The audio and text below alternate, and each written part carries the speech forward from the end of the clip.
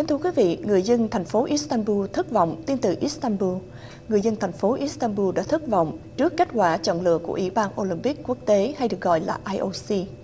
Thành phố Tokyo đã chiến thắng được làm thành phố chủ nhà tổ chức Olympic mùa hè năm 2020.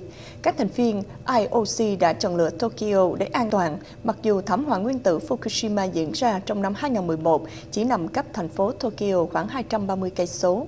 Bất ổn dân sự, chính trị trong nước và lan sóng dùng thuốc kích thích thể lực của lực sĩ Thổ Nhĩ Kỳ lần nữa đã làm cho thành phố Istanbul thất bại. Nhiều người cho rằng là cảnh sát Thổ Nhĩ Kỳ đã nặng tay với người biểu tình trong tháng 6 vì chống lại chương trình xây cất tại công viên Gezi.